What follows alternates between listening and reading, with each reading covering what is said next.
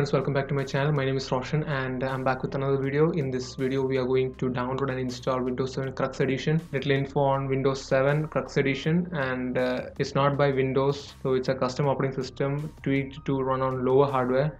So the requirements is 1 gigabyte of RAM 16 gigabytes of storage and uh, Pentium 4 so if you have a PC which is lying around with a lower hardware and cannot run Windows 10 on it or Windows 8 on it then it's the best option you have and it uh, runs like a charm. Uh, it boots fast shutdowns fast restart is uh, great. So most of the services which you are don't require normally and windows defender and such things are disabled by default so it performs more smoother. It has native support for usb 3.0 and it can install third-party softwares. So windows 7 was a famous operating system. I know a couple of people who still use Windows 7 even though they had the option to upgrade to Windows 10. If you have a thing for Windows 7 then this is it. Yeah, if you are not interested in this video and you want to change the video or watch something else then I have lots of videos in my gallery you can watch that but please subscribe before going because I need to achieve a goal of 1000 subscribers minimum threshold. So without any further ado, let's get started. So head over to this website. I'll provide the links down in the description. You can read the whole post, scroll all the way down and click on the download button. You can download the zip file from there.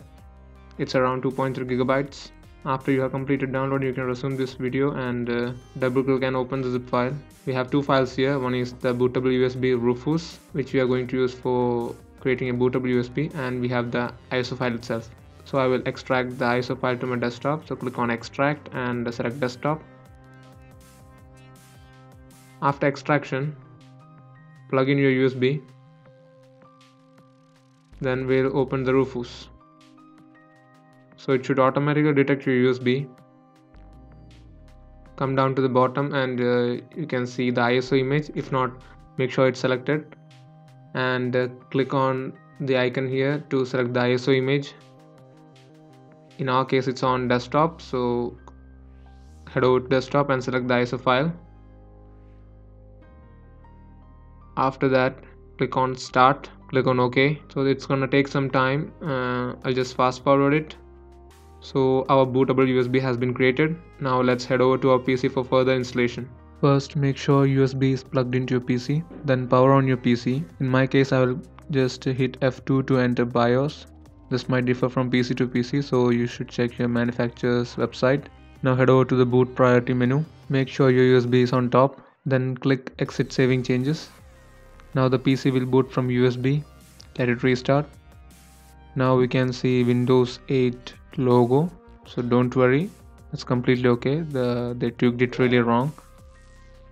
Now you can see Windows setup with Crux theme and it says Windows 8 so that's also not an issue so don't worry just select the language to install after that click next click on install now now you need to accept the license agreement after that click next now click on custom install. As we are going for a clean install now select the partition where you want to install windows and uh, click format. So now the formatting is complete. Click next. Now the installation has started. I'm gonna just fast forward this process. It's gonna take some time.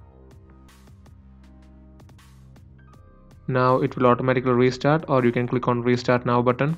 Again i will just fast forward this process. It's gonna take some time now type a username for your pc click next. Now type in a password. Confirm your password and uh, give a hint. Then click next. Now you can choose any of these options but I will go for recommended settings. Select your time zone if not detected automatically. In my case it's automatically detected.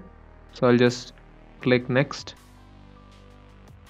Now it's installing couple of software like antivirus uh, system care and uh, something like that so you can choose to install them or you can click cancel to avoid that. So now let it complete the installation and we are booting for the first time to Windows 7 Crux Edition. Yeah, that's it. We have now successfully installed Windows 7 Crux Edition. So I hope this video was really helpful to you, informative, and uh, I hope you like this video. If you like this video, please hit the like button and uh, share this with your friends. Subscribe to my channel. When you subscribe, please hit the bell notification icon so that you will get notified every time I upload a new video. And uh, please subscribe. I'm in really need of subscribers. I need to hit the minimum threshold of 1000 subscribers, and that's my goal. So help me achieve that. And uh, I'll see you guys next time. Bye bye. Thank you.